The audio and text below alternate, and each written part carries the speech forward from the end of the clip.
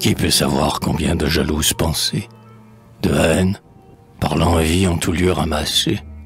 de sourds ressentiments, d'inimitié sans frein, de rage à les plus sublimes têtes, combien de passions, de fureur, de tempêtes,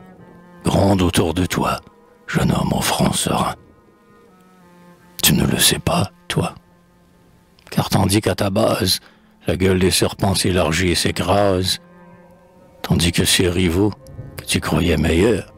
vont assiégeant ton foule, ou dans la nuit secrète, creusent un piège infâme à ta marche distraite, pensif, tu regardes ailleurs. Aussi parfois leur cri monte jusqu'à ton âme, si ta colère, ouvrant ses deux ailes de flamme, fait chaudroyer leur foule acharnée à ton nom, avant que le volcan n'ait trouvé son issue,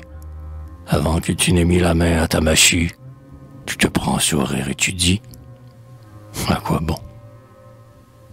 Puis voilà que revient ta chère rêverie, famille, enfant, amour, Dieu, liberté,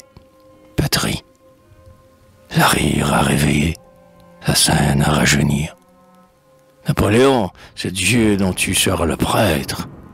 des grands hommes, mépris du temps qui les voit naître, religion de l'avenir,